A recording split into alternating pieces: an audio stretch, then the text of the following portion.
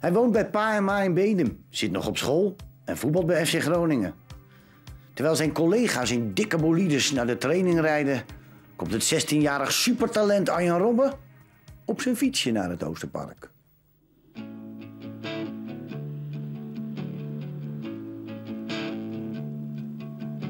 Ik fiets gewoon elke dag naar school. En eh 10 kilometer, of 11, 12 kilometer eh, elke dag op en neer. Van school naar huis.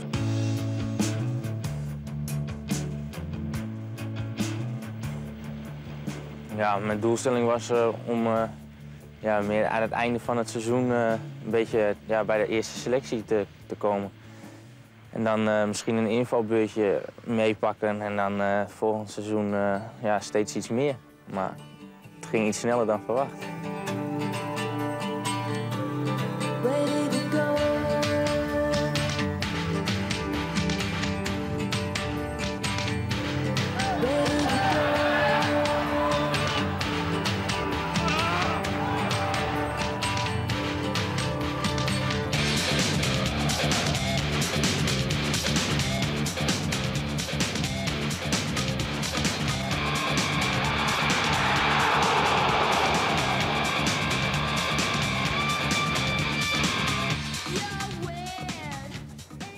Nou, dit is het eh, veldje waar ik altijd heb gevoetbald. Nou, we zijn nu inmiddels wel verhuisd, maar eh, ja, op dit veldje heb ik eh, vaak gespeeld. Met, ja, meestal met wat, iets wat jongere jongetjes. En dan speelden we weer altijd partijtje. En dat heb ik wel een jaar of twee gedaan. Jan van Dijk had gebeld naar mijn, ja, die had gebeld naar mijn huis. En, alleen ik zat gewoon op school, want dat was op een vrijdagmiddag. Dus ik had mijn mobiele telefoon bij me, dus eh, mijn moeder die eh, belde me. En eh, ik zat in de klas, dus ja, je mag niet bellen in de klas. Dus ik, ik heb niet opgenomen en nou, maar ze bleef me bellen en het was zes keer, zeven keer. Dus ik dacht, nou, dat is toch wat in de hand. Dus ik even tussen de les uit even naar de wc en even teruggebeld. En toen zei mijn moeder van, ja, je moet zondag mee met Eerstrecht. Ja dat, is ja, dat is echt het mooiste. Ik bedoel, de basis beginnen nou, tegen Feyenoord, een vol stadion. Dat is geweldig, ja. Als je het veld in gaat, dan moet je, het gewoon, eh, nou, moet je gewoon gaan voetballen. En dan eh, maakt het nou niet uit of Kees van Wonderen er staat of, eh, of Pietje Puk. Maar je moet gewoon, je moet gewoon voetballen. En, dus ja, zo is het gewoon.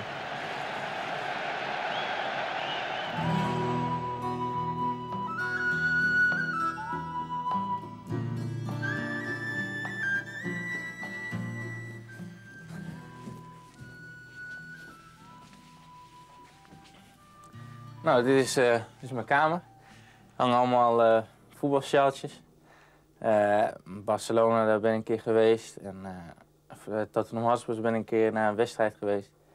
Ja, dat is natuurlijk geweldig om die sfeer te, zien daar allemaal.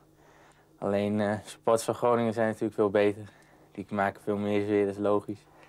En nou, ja, heb ik nog twee sjaaltjes en nou, die heb ik gewoon gekregen. Dat is, dat is geen betekenis. Ja, dit zijn dus eh, ja, de kranten eh, waar je dan staat naar die wedstrijd tegen Feyenoord. Ja, dat is natuurlijk allemaal heel leuk om te lezen.